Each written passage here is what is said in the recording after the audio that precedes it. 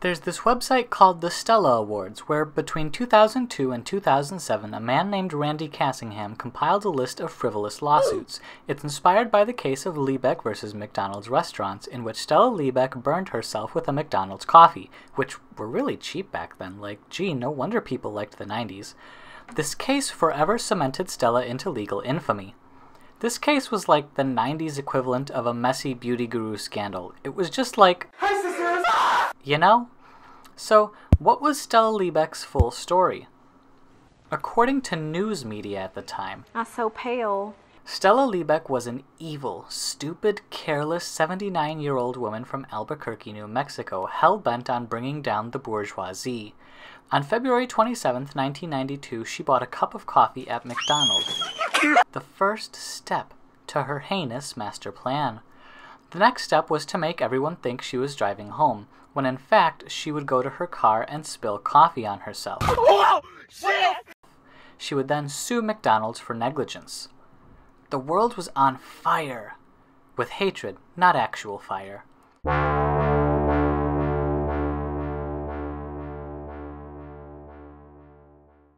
What negligence was McDonald's being sued for? Coffee is supposed to be hot. What a goof. Stella Liebeck would miraculously win the case, to the dismay of the people, and win millions of dollars.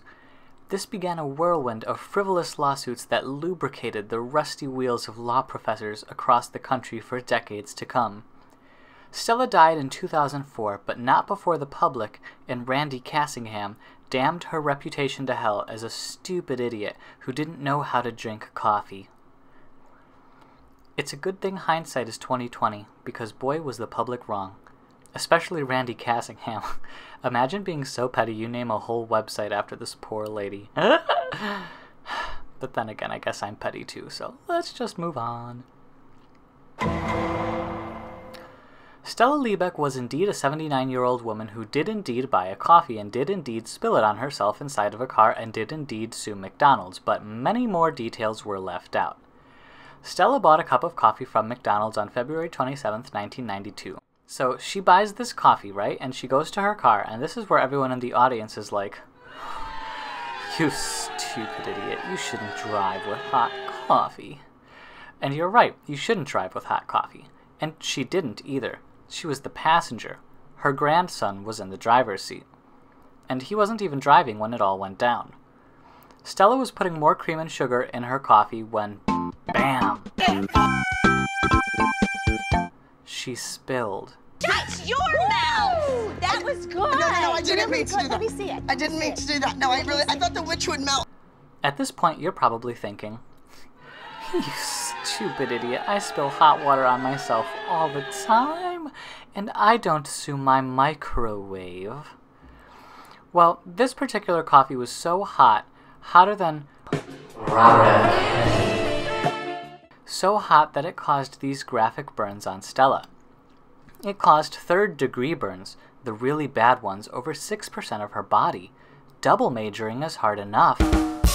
She remained in the hospital for over a week to get surgery for skin grafting.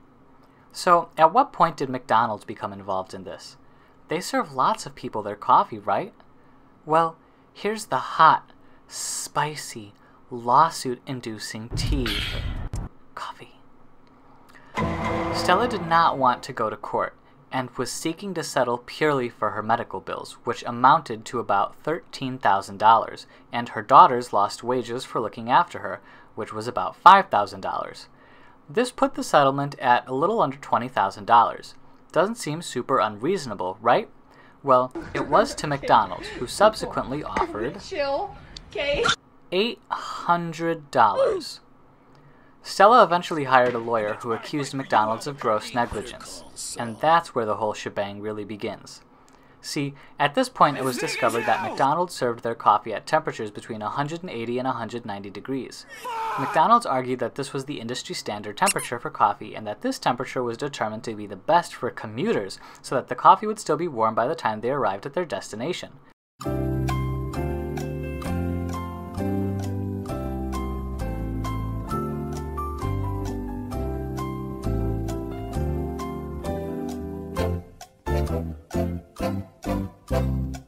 Others say that this high temperature is required to brew the flavor correctly from coffee.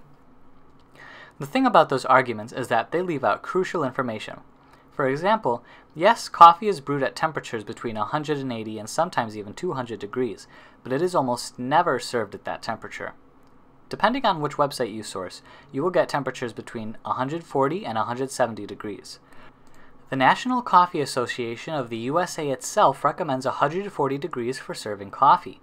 On top of this, McDonald's stated that this temperature was normal for the sake of the convenience of their commuters. Mm, but what they didn't mention was the 700 other reports they had received on burning coffee. Okay. Or let me rephrase that. They did mention the 700 reports, but they also emphasized how they weren't going to do anything about it. As Christopher Appleton, quality assurance executive, said in his testimony, there are more serious dangers in restaurants. So, how did this woman end up getting $3 million, you may ask yourself? As terrible as this was, it couldn't be worth $3 million. Personally, I don't mind anyone bringing down the diarrhea factory that is McDonald's, but either way, Stella did not get the money. Here's what really happened. So, courts split awards into two categories punitive and compensatory.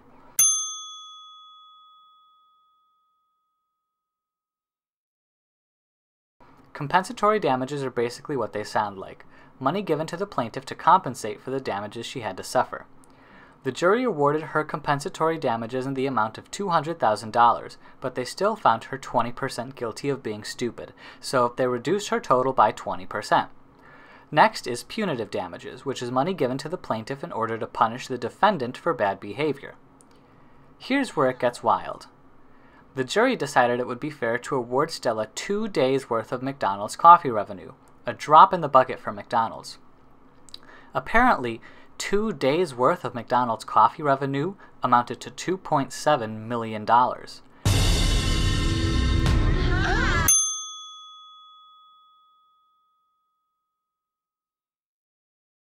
However, the judge reduced this amount to $480,000, deciding that three times the compensatory damages would be more than fair. This totaled up to a little over $600,000. Both Stella and McDonald's appealed this decision, obviously for different reasons. They eventually settled out of court for a rumored amount that was even less than what the judge offered. Poor Stella. So, how did this become such a large national controversy?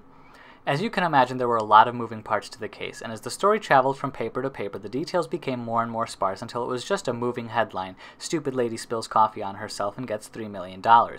It became an almost shamefully easy punchline to work with, making its way through all the media hemispheres of the 90s. We got a chance? Do we have a chance? You get me one coffee drinker on that jury, you gonna walk out of there a rich man. Now she claims she broke her nose on the sneeze guard at the Sizzler, bending over looking at the chickpeas. Man, it's hot. How hot is it? It's so hot, I poured McDonald's coffee in my lap to cool off. I mean, it's not like the McDonald's person leaned over the car and poured it. It was an accident. Ooh, my coffee was too hot. It's coffee! But besides the fact that the world decided to basically make a giant joke out of a poor 79 year old woman, there was one other reason this case became very important. As mentioned before, by the time the media was through with Stella Liebeck, her reputation was ruined. Third degree burns and all, people still ended up on McDonald's side. People love McDonald's. I don't get it. I honestly don't. I'm, I'm sorry, I need to rant for a second. Like, I know it's cheap and accessible and stuff.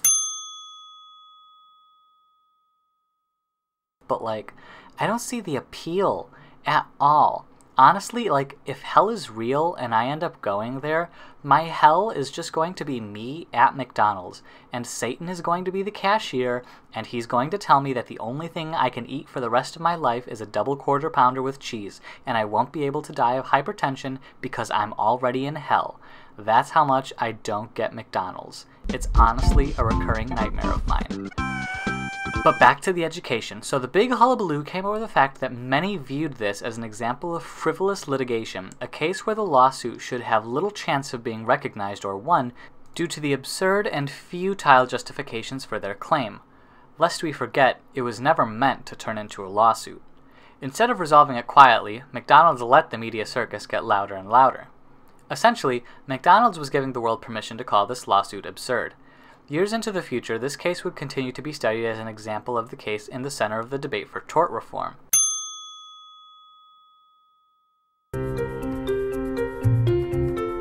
A tort is uh, a pastry, as far as I know. It's also some type of funding that the federal government has done uh, for bailout money, I believe. Oh, I thought that was tort. No, I think it's tort. I have no idea what a tort is. A tort is a piece of.